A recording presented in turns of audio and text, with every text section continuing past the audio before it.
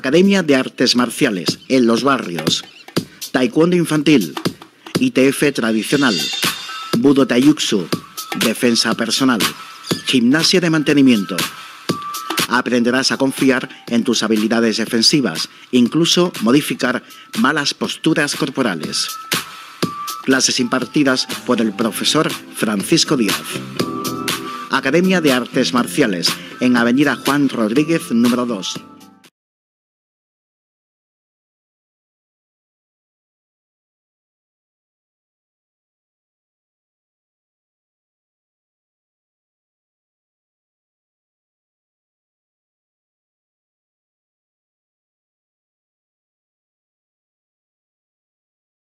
Compra en los barrios.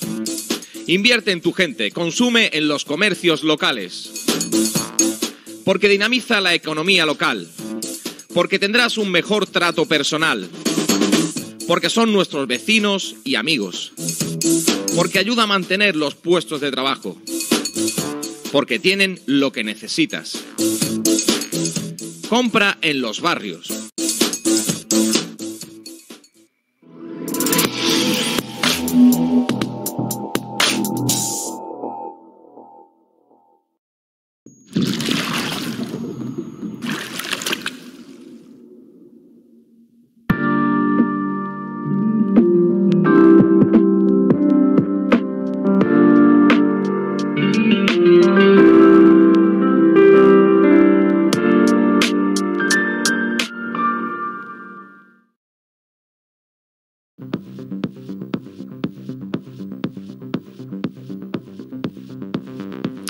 Continuamos juntos aquí en esta que es tu radio, Radio Sol Los Barrios, 107.5 de la FM, emitiendo también por internet para llegar a todo el mundo.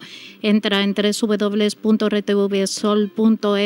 porque ahí encontrarás noticias, información, fotos, vídeos programas para escuchar y descargar y mucho más. También en vivo y en directo a través de Facebook para que puedas interactuar, preguntar, comentar, saludar, decir lo que quieras. Y hoy feliz, te lo digo de verdad, que yo estoy muy bien con, cuando vienen nuestros políticos, nos informan de primera mano, pero esta es ante todo una radio cultural. Y eso, eh, nuestros estudios se llenan aquí de arte y volantes porque tenemos a Mónica Bellido. Qué alegría tenerte por aquí, Mónica, ¿qué tal? Hola, buenos días, Merche. Muchas gracias por invitarme a estar aquí con vosotros en vuestro estudio y sobre todo a compartir este espacio con, con los vecinos de los barrios, sobre todo. Hombre, es que ha llegado y es toda una profesional. ¿eh? Ella se pone los auriculares, yo por aquí no escucho, por aquí no, esto me lo pones bien. Y digo, ¿cómo, cómo, cómo se nota que, que está en el mundillo, no? Porque aquí tenemos una mujer, yo estaba informándome sobre ti, porque yo lo voy a decir, a Mónica la he conocido tarde y mira que podríamos haber coincidido aquí mismo en los barrios, después diremos por nunca qué. Nunca es tarde, nunca es tarde. Y, y, fíjate que, que, con todo el arte que tiene Mónica bailando, a mí me llamaron la atención unas palabras que ella, que ella creo que estabas en un barco y unas palabras preciosas, y a mí que tanto me gusta también lo describí. Dije, qué bonito, cuántos sentimientos, Mónica, y, y miré y dije, bueno, vamos, yo no sé cómo no coincido con ella y empecé a seguirte, después por un tiempo he estado aparte de, de, las redes sociales, pero mm, yo siempre lo digo, es una mujer de esta que decimos todo terreno, apañar, que vale para todo, pero es una mujer llena de inquietudes, que es muy importante en el día de hoy, eh, que no tiene tiempo porque tiene un montón de quehaceres cotidianos, eh, también es empresaria y sobre todo una mujer muy preparada porque tú tienes tus estudios, de eso hablaremos ahora. Lo primero decir que y preguntarte tú naciste bailando, ¿no? Pues sí, yo todos mis recuerdos de infancia están vinculados al baile, al principio de una manera natural, pues como bailan todos los niños pequeñitos, de una manera eh, casi irracional, ¿no? Porque yo creo que, que bailar es eh, una manifestación tan natural del ser humano, ¿verdad? Y luego, pues, por supuesto, eh, después, pues, pues ya me, inicié en el flamenco profesional desde muy pequeñita con el maestro Pepe Heredia y, bueno, siguiendo, siguiendo la raíz de, de, mi familia, ¿no? Que ha sido flamenca por los cuatro costados, lo sigue siendo y creo que esas enseñanzas que uno tiene en el seno familiar, en el núcleo de, tu crianza, ¿no? Te marcan para toda la vida. Y bueno, pues esa ha sido una, esa es una de las Mónicas Bellido que conviven en mí con la periodista y con la madre, con la hermana, con la amiga, con todo. Vamos, aquí no, no la llamáis para más cosas que no tiene tiempo. sí, mujer, siempre se saca un huequito. No, pero, pero ante todo agradecerte la amabilidad que, que tienes, ¿no? Porque en cuanto la llamé vamos sin problema y eso que yo sé que tiene el tiempo como muy justo, ¿no? Gracias a vosotros y además somos compañeros, o sea que yo siempre en eso estoy muy en la brecha. ¿eh? Hombre, digo porque, porque además yo, yo creía que tenía una hija, tiene tres hijos, que, y una casa, y las ocupaciones, y la escuela, y todo esto, y, yo qué sé, pero aquí todo es cuestión de organización, ¿verdad? Eso es fundamental para llevarlo todo adelante. Así es. Pues, pues lo que decíamos, que tú esto, esto del baile, ¿no? Que desde, luego que una forma de expresión, aunque todos los niños no son iguales, ¿eh? los hay con mucho arte y otros patositos como era yo, ¿no? Pero el caso es que bailamos, porque... Bailar se puede bailar, claro, se puede aprender, ya después cada uno es como yo en mi escuela digo, ¿no? Eh, no todo el mundo que desee bailar tiene por qué ser bailador, es decir, uno puede aprender a bailar por el simple placer de, de, moverse y de conectarse con uno mismo y de desarrollarse y además bailar. Nuestro lema en la escuela es bailar, dibuja sonrisas, ¿no? Pero yo creo que además de dibujar sonrisas, yo creo que las personas que practican la danza, no ya solamente el flamenco, sino mm. cualquier otro tipo de danza, mm, les ayuda a su autoestima, a conocerse un poquito más a sí mismo, a desenvolverse en su medio, en su entorno con más seguridad. Y yo Mira, hoy que estamos así en Petit Comité, quiero animar a los hombres a que bailen, porque eh, parece que, la danza fuera algo eh, vinculado a la mujer. En mi escuela no hay ningún cartel que diga que, solo admitimos mujeres y sin embargo hay un porcentaje muy pequeño de hombres que, que se deciden a bailar y creo que eso ayuda mucho a aflorar eh, nuestras emociones y a entendernos a nosotros mismos y a, y a creo que bailar ayuda a construir un mundo mejor, fíjate. Bueno, es que también te, es una forma de liberarte, ¿eh? Sí. Porque cuando bailas como te olvidas del mundo, ¿no? Y en esta situación que estamos viviendo, yo creo que ese ratito de desconexión, de expresarte, porque es una forma también de expresarte, de comunicarte, ¿no? Eh, el baile, la danza. De hecho, durante la pandemia, si me lo permite, eh, yo creo que, las personas que han, han, tenido la valentía y la suerte también, ¿no? De, acudir a clases de baile, eh, han notado como, ese momento se, había convertido en un momento muy especial de la semana. A mí llegaban alumnos que me decían, Mónica, es que me he quitado el pijama para venir a, la clase porque estoy en teletrabajo, porque estoy aislada, porque... Y nada más que ese rato de, convivencia y, de compartir, ¿no? Ese espacio mágico que, es el aula en muchas ocasiones, ¿no? pues mm, ha servido de tabla de salvación para muchos espíritus y para muchas situaciones psicológicas complicadas.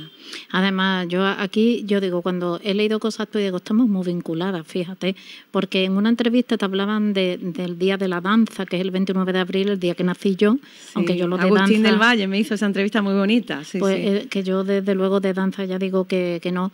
Después he leído también algo eh, por, por una declaración, algo de un libro de tu primo, de, él hablaremos después, porque aquí está Mónica, que brilla por luz propia, no por ser la prima de, y lo digo sinceramente. Si tú buscas, no te pone prima de Alejandro Sanz, te pone Mónica Bellido. baila ahora escuela de flamenco con estos estudios, con todo. Ahora que estás orgullosa de tu familia. Por supuesto, claro que sí, hombre, faltaría más. Y además, bueno, vamos a ver, no, no es ningún secreto, pero tampoco es algo que yo vaya pregonando. De hecho, hay mucha gente que me conoce pues desde hace 20 años y, y, no lo sabían. Y me han dicho, pero chiquilla, ¿tú cómo, cómo no me has dicho que, pues, bueno, pues mire usted, yo... No, natural. Sí, en carta, pues sí, claro, de manera natural, ¿no? Como familia, que son, exactamente. Es como los que tenemos primos, pues yo digo, entre comillas, normales, de que, no son tan célebres. Claro, y, es tu primo, es tu primo. Y cuando te vas de fiesta familia, pues te vas con tu primo.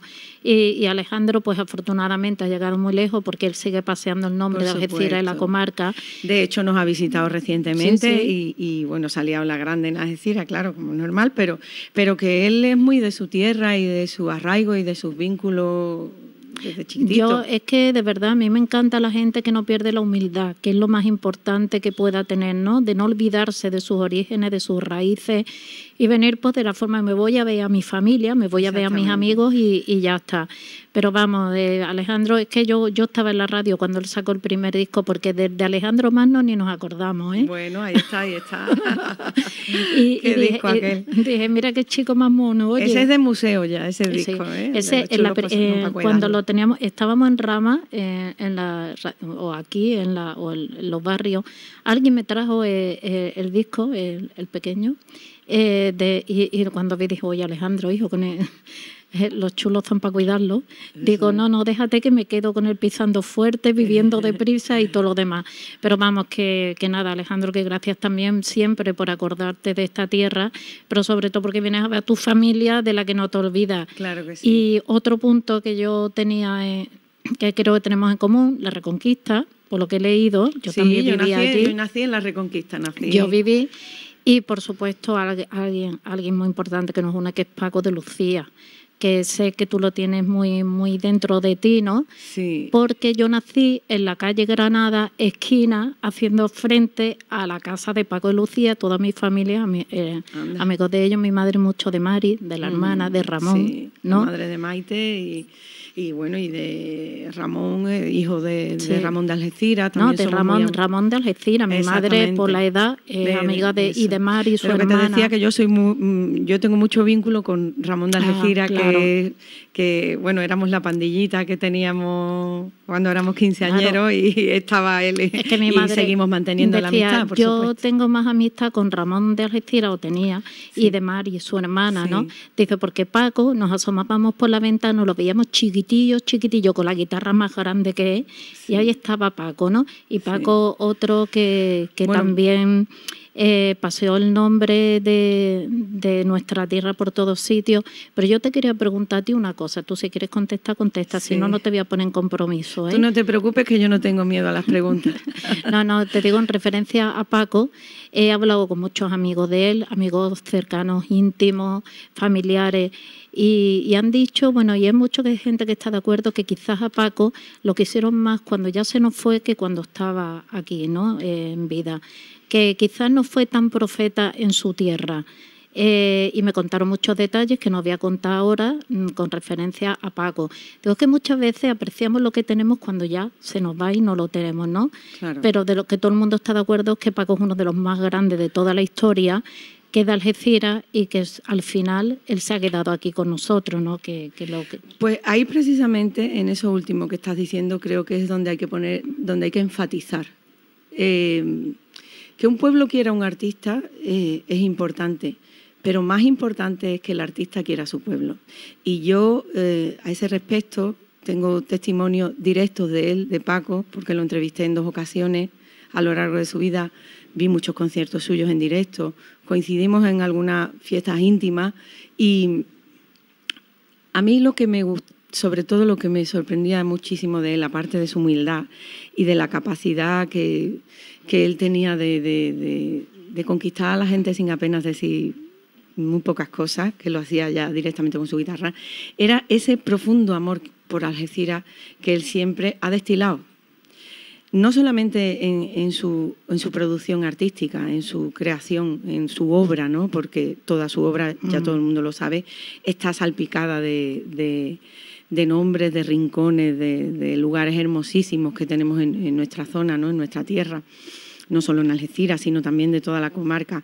Entonces yo creo que lo importante es que él sabía que después de él, su, su propia obra y su nombre serían un regalo para nuestra ciudad. Lo hizo en vida. Yo lo entrevisté cuando, cuando él fue nombrado doctor honoris causa por la Universidad de Cádiz y yo entonces estaba trabajando para Diario Sur y me concedió una entrevista. Llevaba cinco años sin conceder una entrevista a nadie. Él siempre miraba con mucho cariño y con mucho respeto a la gente de su tierra. Él, si tú eras de Algeciras, donde quiera que te encontrara, mm, se desvivía por, por, por atenderte. Por, conmigo así lo hizo. ¿no? Entonces yo creo que para él...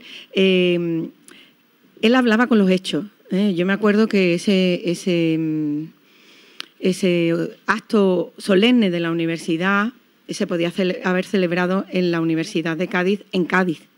De hecho, así me consta que, al principio pues lo que se planteó es hacerlo así. Y él quiso que ese acto se celebrara en la Escuela Politécnica de Algeciras.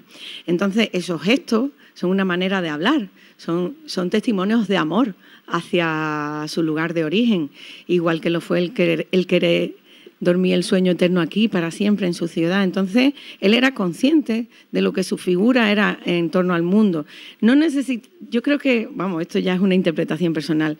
No es tan importante como que en su momento, en vida, se le hicieran los homenajes que realmente su propia vida fue un homenaje al flamenco y así lo, dejó de manifiesto cuando recibió el, premio Príncipe de Asturias. ¿no? Eh, él lo, entregaba al flamenco porque su, objetivo era conseguir que el flamenco fuera considerado como una música, eh, bueno, fue el primer artista en abrir las puertas del Palacio Real para el flamenco, ¿no? que se dice pronto. Entonces, bueno, pues eh, yo creo que él él eh, habló mucho con su, con su gesto a lo largo de la vida y eso es lo importante. Y yo creo que Algeciras pues, está ahora mismo abriendo los ojos a todo eso que él hizo y que todavía la gente no estaba preparada para recibir eh, el legado de Paco de Lucía y ahora bueno pues se está moviendo mucho con el festival, con la creación de, esa fundación ¿no? que ya está en marcha y todo lo que habrá de venir, eh, la construcción del museo, por supuesto, pero que él él estaba, él iba por delante, yo creo, de todo eso, ¿no? Y, lo que los algecireños y los campos gibraltareños debemos hacer es honrar su memoria como se merece. Yo es que desde luego a mí, ya te digo que, yo, vamos, una persona de lo más humilde, porque eso, iba con mi madre un día por la playa Rinconcillo, estaba un chiringuito ahí jugando a las cartas con sus amigos cuando había, hombre, ¿y tu hermano, el, Antoñillo, dónde está el Pues hijo en Barcelona, ah, pero todavía está allí, dice mi madre, lo que le queda. Y, hablaba de lo más normal, estaba con sus amigos de toda la vida, jugando a las cartas, tomándose allí en sus chiringuitos, sus rinconcillos. Y esa es la imagen que yo me quedo aparte de lo grande dentro de artista como, como es, porque tenemos que hablar de él en presente no podemos hablar en pasado, pero sobre todo yo me quedo mucho de la gente que conozco o con la que he entrevistado con su parte personal, porque eso da mucho a entender de, lo que es. Sí, sí, Y yo siempre digo que sus silencios valían más que... valían mucho más que, las palabras en ocasiones porque era una persona con, una, con un carisma y con una humanidad eh, desbordante. Bueno, pues tú tuviste la suerte de, estar con él, de hablar con él, de conocerlo, porque a mí me daba la impresión de que Paco tampoco era de mucho hablar así. Bueno, él lo decía todo con la guitarra, que ya era bastante. Era su forma de hablar. Él ha construido un lenguaje para el flamenco moderno. Es decir, yo siempre digo que mm, que eh, si no fuera por la obra de Paco de Lucía, hoy no se cantaría ni se bailaría, ni se tocaría como se hace. Es decir, él, dio un golpe de timón al desarrollo artístico del flamenco y de hecho hoy, hoy todavía eh, los, guitarristas, todas las generaciones de guitarristas suenan a Paco. Tendrán que pasar muchos años para que venga alguien a escribir ese nuevo diccionario del flamenco, pero todavía tenemos Paco para el rato. Pero cuidado, cuidado, ¿eh? que Paco unió a la música en diferentes géneros, porque por ejemplo mi hija que toca la guitarra pero la eléctrica, eh, el rock, heavy y todo esto, cuando murió Paco, los, los mensajes de pésame más sentidos quizás, de los más sentidos, fueron de gente del rock, del heavy, que con los que tocó, bueno, Carlos Santana, que también es otro, otro, y decía mi hija, pero es que ha tocado con este, es que ha tocado con el otro, digo que Paco ha adaptado su guitarra a, la música en general eh, y ganó mucho. Él fue muy inteligente porque él se nutrió de, toda, de, todas eso, de todas esas formas de expresión musical, pero siempre el ascua la rimaba luego al flamenco. él, nunca, él nunca terminó de, o sea, su, seña de identidad era la, de, la de flamenco, ¿no? Y entonces yo creo que eso está ahí pues para siempre. Esto lo busqué yo porque decía, ¿desde cuándo el flamenco, que lo sepa todo el mundo que es patrimonio cultural inmaterial de la humanidad, ¿eh? Pero fíjate que yo busqué la fecha, digo, ¿de cuándo era esto? Cómo pasa el tiempo, ¿eh? que parece que fue ayer y es del 2010. ¿eh? Sí, sí, 2010. y, cuando, y cuando lo busqué digo, madre mía, cómo pasa el tiempo, ¿eh? que parece que fue ayer cuando lo declararon, ¿no? Como ese bien para toda la humanidad. Y digo, y fíjate, han pasado 11 años. Bueno, tú que has estado con grandes figuras, unas más conocidas, otras menos conocidas, bueno, a nivel en ese mundo del flamenco son conocidos porque tenemos que decir que, que dije, al comienzo que es una mujer muy preparada porque ella se ha formado, mm, porque ahora la ven bailando y dice que arte, pero es que ella tiene una preparación, lo digo, para los chicos y chicas jóvenes que quieran lanzarse a este mundo del flamenco o de la música o de la danza y todo, no olviden la formación, ¿eh? que es muy importante la que tenga detrás. No es incompatible. Hombre. Aunque a veces pues parece que en ciertos sectores parece que que tuviera que ser así, pero yo siempre que hablo con chavales o que doy conferencias o charlas en algún instituto se lo digo. Eh, uno puede ser lo que quiera ser y no tiene por qué ser solo una cosa en la vida y la formación nunca, nunca está de más. Así es que uno puede ser un deportista de élite y también tener una formación académica y, o, puede ser bailadora y puedes tener tu, tu estudio universitario. Lo que pasa es que no siempre, a veces, Merche, me ha pasado en mi vida que parece que por, eh, por haber sido universitario universitaria eres peor bailadora y viceversa, ¿sabes? Parece que ah, sí, me, ha pasado, he, percibido cierta incredulidad, ¿no? Porque a lo mejor no, en mi época eh, no era algo común. Ahora, afortunadamente, pues la gente pues ya eh, está más formada y también en el flamenco, ¿no? ha crecido el nivel el nivel formativo ¿no? de, los artistas, pero en la época en la que yo estudiaba y bailaba a la vez, eso de tener en el tablao los apuntes de dialectología, pues me miraban así como diciendo, esta chica es un bicho raro, ¿no? ¿Qué hace aquí? o, viceversa, ¿no? Pues yo, Mónica, ¿qué quiero decir? Te pongo mucho en valor esto, porque yo que aquí tenemos una campaña desde que abrimos la radio, que es fomento de la lectura y de la formación en los jóvenes, cada uno que haga lo que quiera, ¿eh? porque todos servimos para algo, que no te obliguen, haz lo que quieras, pero estudia, ¿eh? porque es muy importante para ti personalmente también, ¿no? Bueno, pues ya con 18 años se nos va a Granada, una ciudad mágica también, pues ¿qué quieres que te diga? Unos años muy bonitos que ah, pasé A mí hay dos ciudades mágicas en España, que es Granada y Santiago de Compostela. Pues Granada te lleva casi toda la magia, ¿eh? y, bueno, allí empiezas a estudiar filología hispánica, pero ya que estás allí, pues te reúnes de grandes figuras, ¿no? Bueno, yo cuando decido irme a Granada lo hice porque, fíjate, yo iba a hacer filología hispánica, podía haberlo hecho en Cádiz, que estaba más cerquita de mi casa. Pero yo ya era bailadora. Cuando yo ya mm, me voy a estudiar fuera, yo ya era bailadora profesional, por así decirlo, porque llevaba bailando desde los 10 años y en esa etapa de la vida es la, evolución en uno es muy grande, ¿no? Es un, vas dando saltos de manera muy rápida. Entonces yo quería seguir bailando y allí surgió eh, la primera cátedra universitaria de flamenco, lo que es la cátedra de flamencología, que la llevaba entonces Mariquilla, ¿no? Era un título propio de la Universidad de Granada y entonces yo dije, pues me voy a ir a Granada y allí mato dos pájaros de un tiro e hice la cátedra de flamencología a la vez que hacía filología. Iba a hacer inglesa, pero ya luego me decidí por hispánica. Y entonces, pues a la vez que estudiaba eh, las carreras, pues también empecé a trabajar en el tablao de, Mariquilla, que coincidió que en esos años abrió ella Jardines Neptuno como, como patrona. Y la verdad es que allí, pues eh, fue una parte muy bonita de, mi formación porque estuve en contacto con grandes intelectuales que había en la época.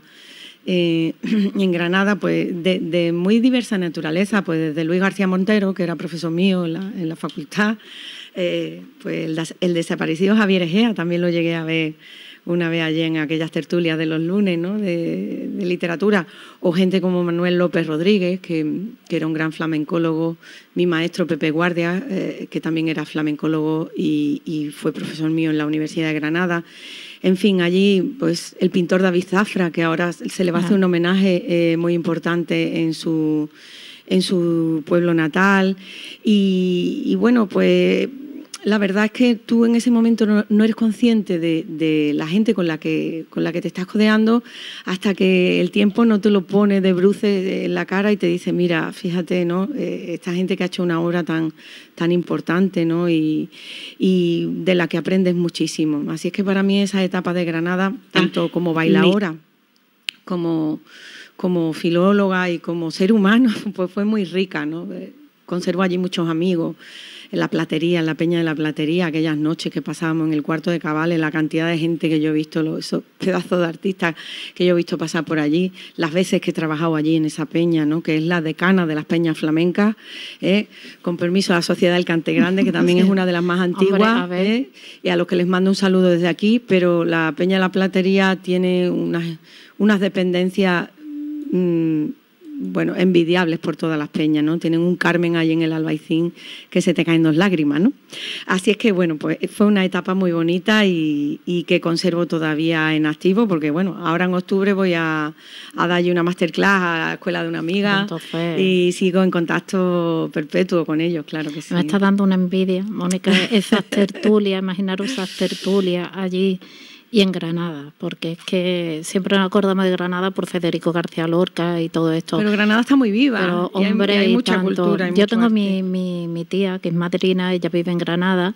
nos hemos distanciado un poco por esto de la pandemia, que no se puede ir y venir y tal pero yo la última vez que fui, es que yo adoro Granada, es que me encanta, de verdad, las calles esas que parece que se ha detenido el tiempo, ¿no? Sí. Y, por la catedral y todo esto. Eh, yo no, no me fijo ni siquiera en los monumentos grandes, ¿no?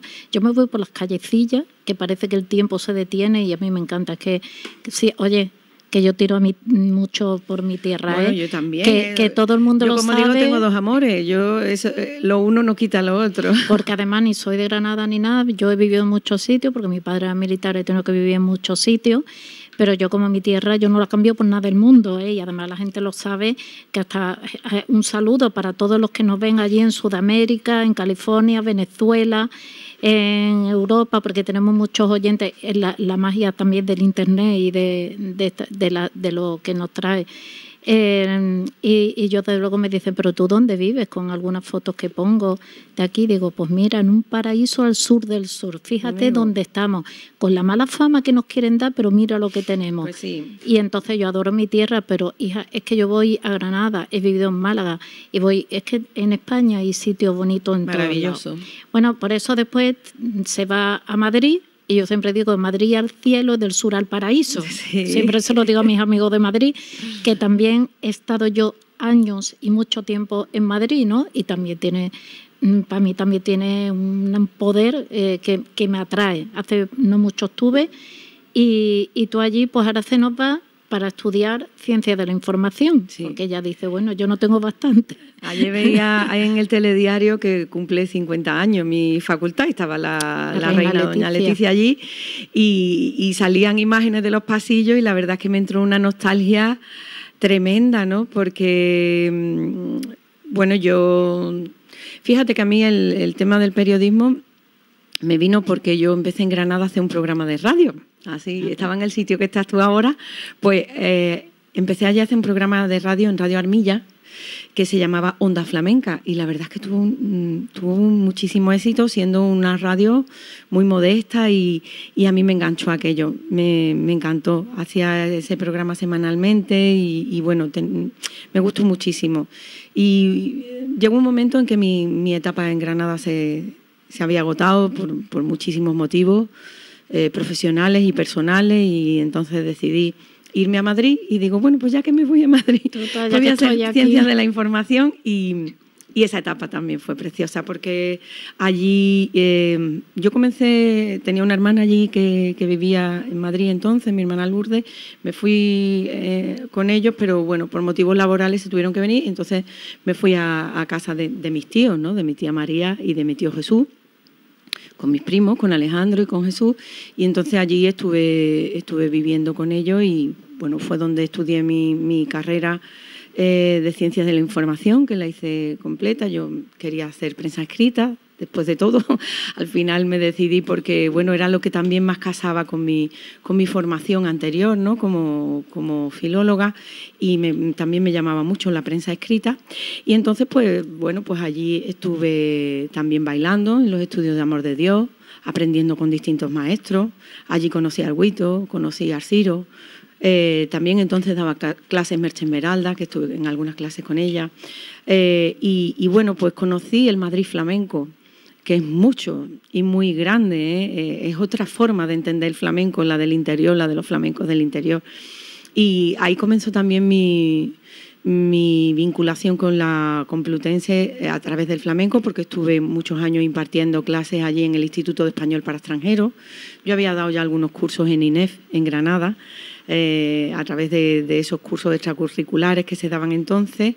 Y bueno, empezó también mi aventura flamenca y universitaria que, que dura hasta hoy también. bueno, y una, una, gira que te llevó por varios países. Ah, sí, sí, con el Instituto Cervantes, sí. Eh, bueno, eso tiene que ser una experiencia muy bonita. Eh, llevábamos un grupo que se llamaba Cincalé y estuvimos pues de gira por, por distintos Cervantes, estuvimos en los Cervantes de Londres, de Manchester, Manchester de Ilclis, también estuvimos en Egipto, en el Cairo, en Alejandría.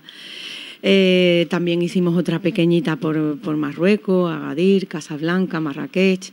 Y la verdad es que fue una época muy, muy variada y muy rica. Yo iba haciendo una cosa, eh, un recitado con, con, cosas de Lorca. Era una mezcla de, de, flamenco, pero también, pues como estábamos en el Cervantes, queríamos darle ese toque también literario, ¿no? Y que mejor que Lorca para, para evocar esa unión del flamenco con la poesía, ¿no? Eh, y bueno, pues, pues fue una, una etapa también muy bonita que también llegó a su fin y ya decidí coger los trastos y es que mi tierra me tira. Es que, la tierra tira, ¿qué quieres que te diga? Yo, desde luego, mm, ya te digo, una vida que joven, no vayáis a pensar que... todavía soy cuarentañera, Merche. Que cualquiera ya me queda poco, pero todavía cuarentañera. Cualquiera que, esté escuchando dice, bueno, esta mujer ha vivido tanto que... Tiene ya 90. Para escribir ya la, biografía, pues no, todavía tiene... No la escribe porque todavía le queda mucho por hacer, Espero que sí, que así sea. Eh, pero el caso es, que el flamenco es universal. Eh, nosotros además, yo creo que cuando, por ejemplo, eh, tú vas a Marruecos, ¿no? Eso, esos sones, eso está es una raíz común ¿no? del flamenco pero es que si eh, el flamenco fíjate en Japón no es que adoran el flamenco es algo que le, que le llena eh, cuando dice por ejemplo mira el heavy no sé qué les encanta el flamenco que lo sepáis y yo tengo que reconocer que yo, cada uno es lo que se cría, eso es verdad, yo con clásica y ópera y tal. Y no era yo muy entendida, pero aquí estaba Juan que hacía un programa de flamenco y cuando no pudo controlarlo Alberto, lo hice yo, oye, y me empezó a gustar. Claro. Y le dije, Juan, ve explicándome, ¿no? Ve explicándome. que te explique el gusanillo y un poquito investigando, ¿no? Y me decía, mira, vamos a empezar por las alegrías, ¿no? Que eso es como más... Te va, es más nuestro, lo tenemos más interiorizado. Mm, pero ya cuando llegó a la bulería todo esto, yo decía, uh, Juan, es que tú sabes, los bellos de punta, además con clásicos, como yo digo, ¿no? De, del cante flamenco, y desde luego es algo que se va metiendo, ¿eh? a medida que lo vas conociendo se va metiendo. Por eso no me extraña que vengan de fuera y se emocionen tanto, ¿no? Escuchando. Porque el eh, flamenco tiene una cosa, Merche, que. Mm, eh, es universal, pero lo es porque es capaz de, em, conectar con sentimientos eh, comunes a todo ser humano que mm. son universales. Y es que el flamenco se resume en, emociones muy, muy simples y, al final pues todo gira en torno al amor, a la muerte, a la vida, a, la alegría. o sea, todo el mundo, hable el idioma que hable, pues ha sentido alguna vez la ausencia de alguien que quiere o has sentido alguna vez el corazón roto porque, porque el amor no, te es correspondido, pues todas esas cosas es lo que resume el flamenco, de una manera muy simple y con un lenguaje muy cercano a cualquiera que esté con el corazón abierto a escuchar. No, que estoy fijándome porque está poniendo aquí mi compañero Alberto unas imágenes preciosas tuyas y de la escuela. Ah, ¿sí? ¿no? Muy bonitas, muy bonitas. Yo no, las veo, pero luego las veré. Es lo que están viendo ahora mismo, ¿no? Y somos, es que nada más que con los brazos, hija, ya es que tiene mucho arte hasta en la foto, ¿no? y bueno, y tus alumnas que están allí, a ver los alumnos cuando aparecen. Cada vez se van animando un poquito más, pero yo he querido hoy mm, aprovechar este espacio que tú me das para darle un tironcito de oreja a los muchachos, ¿eh? que, mm. queremos más. Aquí tenemos a Cristóbal, que tiene un arte que no vea, que lo he visto yo desde chiquitillo y está llegando ya, porque es que de verdad, yo digo que eso lo trae ya, lo trae, ¿no? No sé si de los genes, de reencarnación, de lo que sea, pero cuando te veas estos niños, estas niñas chiquitines, claro, que desde eh, con ese arte bailando, digo, madre mía, ¿dónde lo trae, no? Es que te da una cosa, bueno, pues tú te vuelves y dices, me voy para mi tierra, que es lo, donde yo quiero vivir y quiero estar a gusto, ¿no? y aquí fundé mi familia y tengo mi y tengo mi tenía mis padres, ya ellos no están, pero bueno, siguen conmigo de otra manera y, y realmente al final uno tiene que echar el ancla. Y es como la vida da tanta vuelta, dice, bueno, empieza a ejercer ¿no? de lo que ha estudiado, empieza como periodista, bueno, en diversos medios, ¿no? Sí, Porque empecé en el Faro, empecé como redactora rasa en el Faro, información, que bueno, ya como, como tal no existe, pero eh, luego también estuve cuatro o cinco años, estuve en Diario Sur, hacía crónica universitaria, y en mi época del Faro, pues yo hacía los barrios de información. ¿eh? Fíjate. Estuve mucho tiempo dedicada exclusivamente. Yo creo que entrevisté hasta, bueno, ¿qué te digo yo? El que abre y cierra los barrios todas las noches la puerta, pues, eh, porque eran 16 páginas de, de, los barrios las que yo hacía y tengo aquí mucha gente querida y mucha gente de la que guardo muy, muy buen recuerdo y conozco los pues barrios palmo a palmo porque me lo he caminado desde la iglesia de San Isidro hasta el Lazareto, pasando por, bueno, no bueno ya un nuevo trabajo te ponen de guía turística, ¿no? Porque Por cierto, no, creo que le importe que lo digan antena. Mucho recuerdo de Villena de José Antonio, que es nuestro compi que está abajo. Sí, ah, pues nada, yo eh, encantada de volverlo a saludar. Y, como siempre le digo, quien viene, hoy viene y digo, pues hoy viene Mónica. Mónica Bellido. Mónica. Digo, la conoce y dice, anda que no. Claro, sí, es que yo creo que conozco a cada uno de los vecinos de los barrios prácticamente. Pues yo creo que sí. Porque esta ha sido mi segunda casa durante muchos años y, la verdad es que guardo muy, muy buenos recuerdos de, aquella etapa. Y ya después pues llegó mi, mi, paso por la revista eh, Entre Vecinos, de CEPSA también, pero llegó un momento en la crisis de 2008 que la que, ya los periodistas, pues algunos tuvimos que nos reinventamos. Y, bueno, yo nunca dejé el baile. Es verdad, que en esta etapa del ejercicio del periodismo pues fue menos prolífica para mí, pero me mantuve durante todo este tiempo dando clases en la Universidad de Cádiz, donde llevo ya 16 años impartiendo docencia en, actividad extracurricular, haciendo el aula universitaria de flamenco. Y bueno, y además el cuerpo me pedía que, que yo tenía que bailar, porque al final una, una bailadora nace. Es que eh, eh, hiciste tu camino, pero al final vas donde tienes que. Al final la cabra tira claro, es que no puede hacer. Eh, pero es verdad. Y volví con toda la fuerza. Pero es verdad que, que los medios de comunicación, el periodismo, las radios, ¿no? Eh, están sufriendo mucho desde esa época, ahora con la pandemia más. Eh, muchas veces me dicen otras emisoras, no, es que tengo poco tiempo. Digo, es que ellos tienen poco tiempo para ti, no te pueden dar más porque no lo tienen. Porque yo sé que en cualquier emisora, cualquier cadena, ojalá tuviese, te darían una hora y dos si la tuvieran, pero dices que tengo diez minutos, un cuarto de hora. Digo, es que mira, esta radio es libre, somos libres hasta para el tiempo, ¿no?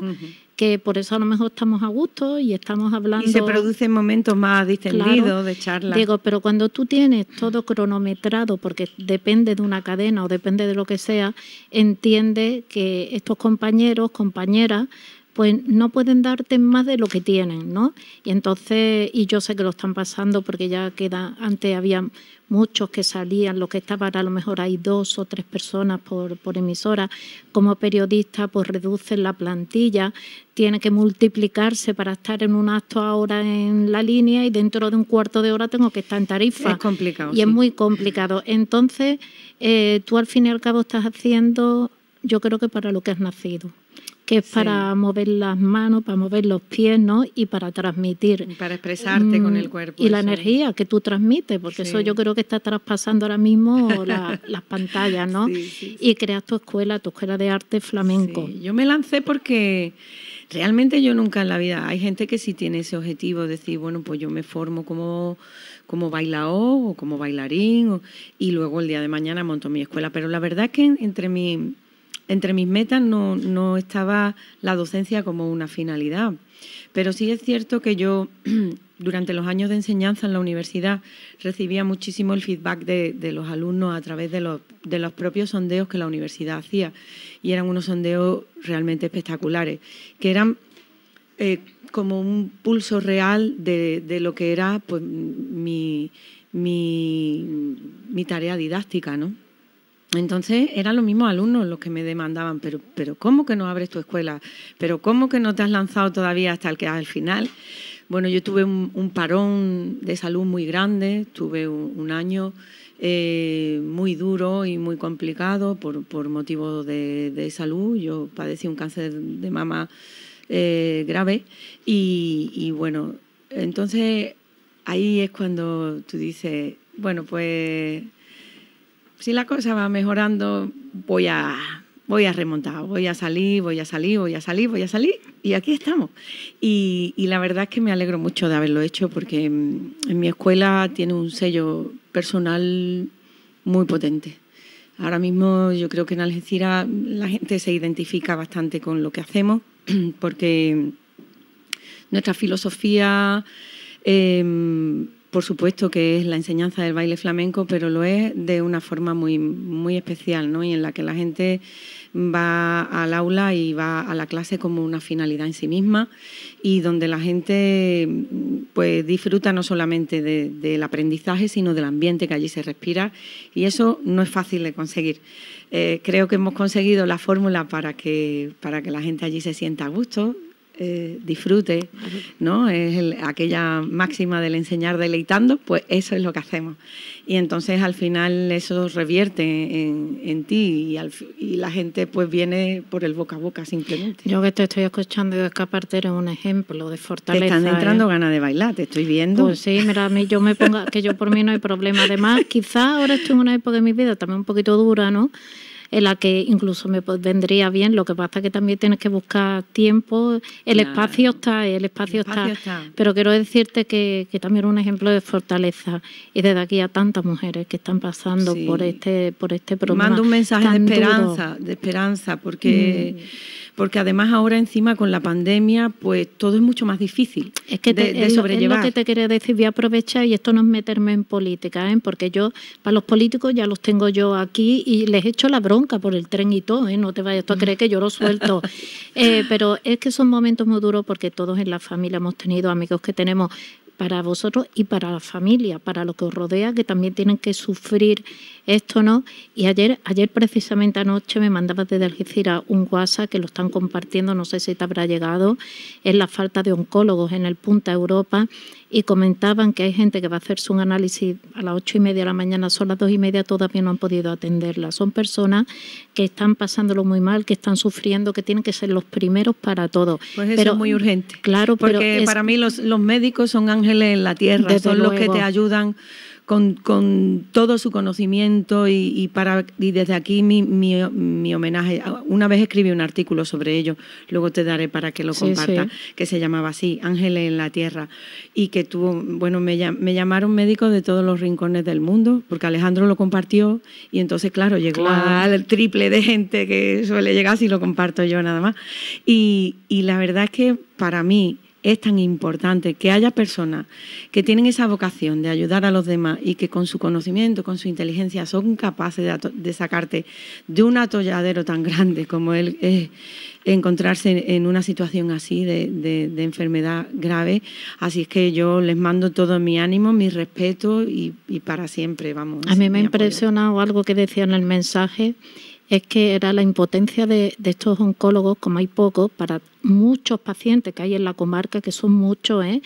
que los veía incluso con lágrimas en los ojos por no poder atender como yo le gustaría. Pues a estos ángeles mándenles ayuda, sí, por favor, mándenles la apoyo, porque la ¿eh? necesitan para ayudar a la gente que sufre y a la gente que se siente perdida. Y yo esto lo mando a quien corresponda, me da igual el partido, me da igual quien esté porque la salud, la sanidad es lo primero, está antes que todo. Además, esto sí lo tengo que decir, no es política, es una realidad que no nos la regalan, que la pagamos todos y por eso tenemos derecho a tener la mejor sanidad del mundo, porque la estamos pagando.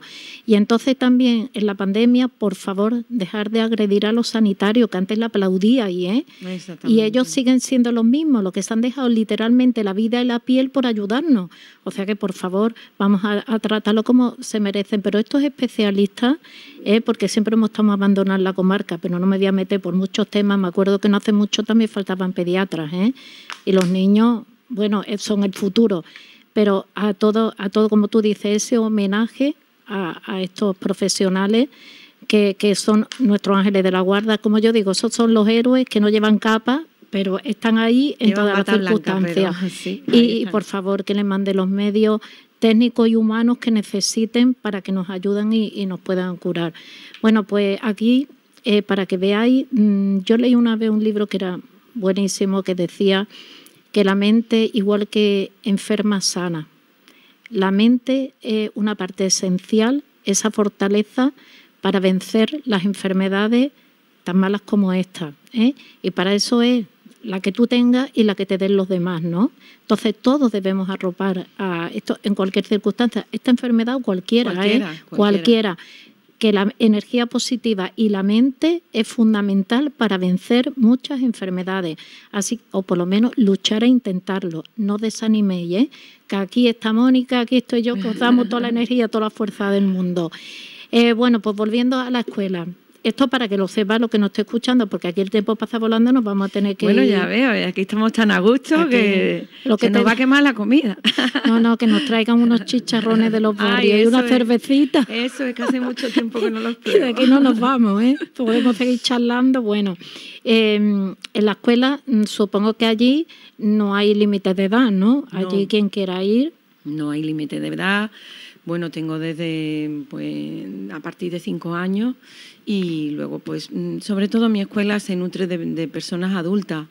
Mm, vamos, y, ya, y el perfil es una mujer, ya, eso ya es evidente, ¿no? Pero para conocer el flamenco y disfrutar de él, eh, solo hay que tener ganas y, lanzarse. Y me da mucha pena cuando hay gente que me llama y, y, no se puede dedicar una hora para sí mismo, dos horas para sí mismo en una semana, porque eso significa que uno está asfixiado por su realidad. Entonces, cuando uno llega allí y te deja fuera todos los problemas y te deja fuera todo el estrés y todo eso que llevamos, que no nos damos cuenta que nos va pesando en la mochila a lo largo del día y llegamos ya con la cabeza dos palmos más abajo de lo que debiéramos, y llegas allí y te pones a bailar y sales con una sonrisa de oreja a oreja y con y con la respiración limpia y con la cara sin, sin contracturas de, de, esa, de todas esas cosas ¿no? que nos van absorbiendo la energía a lo largo del día, pues eso para mí es una batalla ganada cada día. Para mí esa es la razón de ser de mi escuela, el que la gente entre así y salga pues de la otra manera, ¿no? Entonces, bueno, con esto no hace falta decir que el que esté él o la, eh, porque aquí ya metemos a todo el mundo.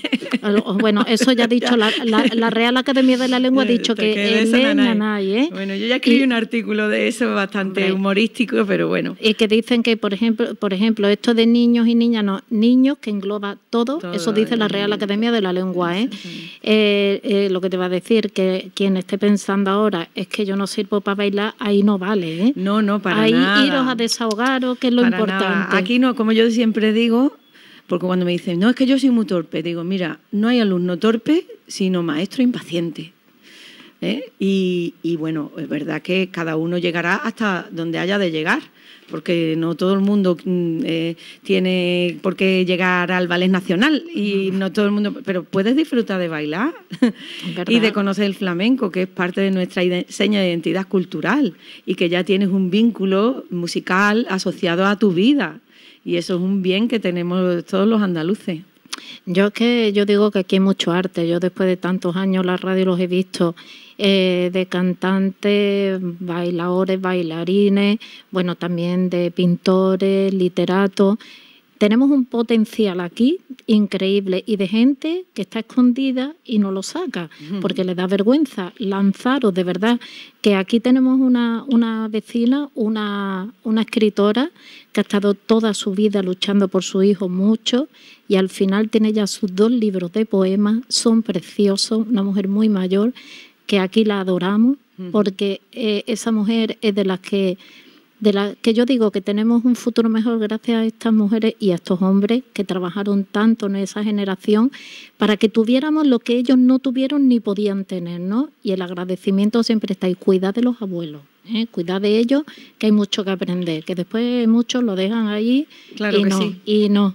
Son un libro abierto. Eh, bueno, ¿dónde te pueden encontrar? Porque dirán, bueno, y, y los que no la conozcan dirán dónde está la escuela. Claro, es verdad. Pues mira, nosotros estamos en el edificio Aurora, en Algeciras, frente al Colegio Puerta del Mar.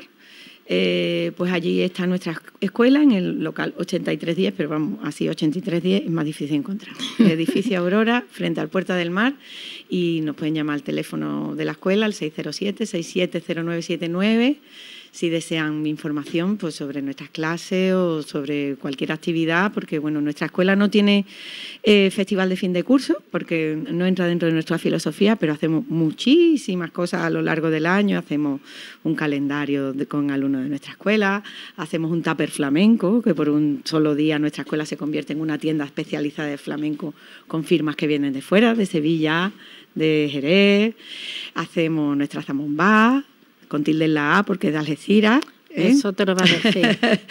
eh, y luego, pues, nuestra a final de curso hacemos nuestra, nuestra carroza no, es que, para es feria. Que, discúlpame, es que muchos dicen zambomba, no es zambomba. La zambomba es el instrumento. Y, claro. y bueno, y yo respeto que cada uno a su fiesta la llame como quiera, por Hombre, supuesto claro, que sí. Pero es que muchas veces dice eh, es zambomba, porque es zambombada, pero aquí como... Es la, contra, es la claro, contracción de, de, es, es nuestra, de zambombada. Es nuestra lengua, sí. zambomba, y además suena estupendamente. Claro, claro. Es que te va a decir para que vayas a hacer una fiesta de fin de curso si tenés fiesta todo el año. Claro, tenemos fiesta todo el año. Y luego, pues nuestros alumnos de bulería también tienen sus masterclass con música en directo, con guitarrista y cantador. Mm. En fin, que bueno, algunas veces vienen maestros de fuera, hacemos un intercambio con, con otras escuelas, como en este caso de mi amiga Maripaz Lucena.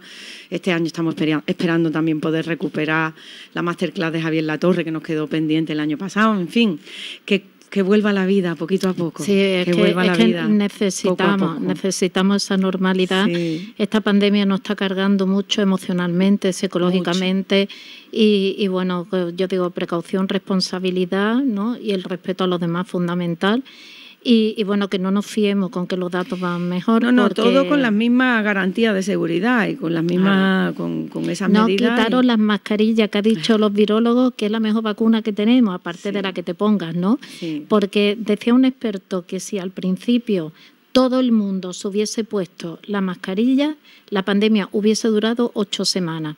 Pero como todavía tenemos gente, yo digo las ovejillas negras que van... Y que no se sabía, Merche, al principio también, se sabía también. muy poco de esto. Pero mucho bueno. de, y, y, aún así todavía tenemos, creo que tanta información que estamos desinformados, ¿no? Y los Mm. datos que no nos cuadran y todo esto.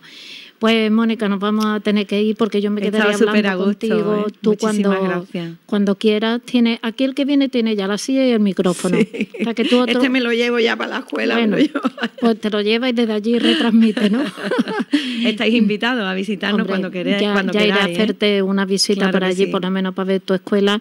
Claro y sí. cuando un día diga yo, pues mira, yo también tengo ganas de hablar, pues te viene y le dice a Alejandro que un año que venga es Que que, se venga aquí sí, también. los dos, porque será para veros a los dos juntos. Pues sí, la verdad es que somos. Sí, somos- sí, eso, eso Cuando ya. venía, cuando venía en verano se traía pantalón negro y camisa blanca por si eh, actuábamos, actuaba con, con el cuadro soleano. Qué Pues bueno. imagínate de, ahí en adelante todo lo que. Eso nada, es que yo me imagino. las historias que tenemos Me que imagino contar. a los dos juntos, bueno, a toda la familia. Yo creo que cuando juntaba y Sí, ya la liaba. Sí, la verdad es que, Que- nos- estamos muy unidos, nos queremos mucho y, y disfrutamos mucho de la vida juntos y del flamenco juntos. es bueno tener la familia todavía, seguir el contacto, porque muchas veces son familias grandes como la mía, pero cada uno está en un punto, entonces te separas un poco, cada uno tiene su vida y sus problemas, ¿no? Sí. Y siempre cuando viene esa, ese, pues normalmente primo y prima, ya los mayores también se nos van, y entonces vienen y dice, te dan la sorpresa a lo mejor un día que viene y dice, oh, Así fue, la verdad que este verano y pasamos un día fantástico y un día maravilloso y un reencuentro muy bonito porque